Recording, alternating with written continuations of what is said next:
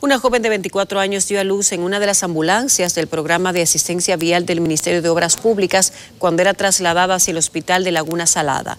La joven que se encontraba en las últimas semanas de gestación reside en Mao y fue asistida por el doctor David Pérez y el técnico Kelvin Peralta a bordo de la ambulancia. La madre junto a su hija fueron recibidas en el hospital Laguna Salada en la provincia Valverde. Ambas llegaron en buen estado. Ese alumbramiento se convirtió en el sexto, siendo la primera en el 2016, el 6 de noviembre, la segunda en el 2017 en Bávaro, en el 2018 dos en Asua y 2019 en Punta Cana y esta última aquí en Valverde.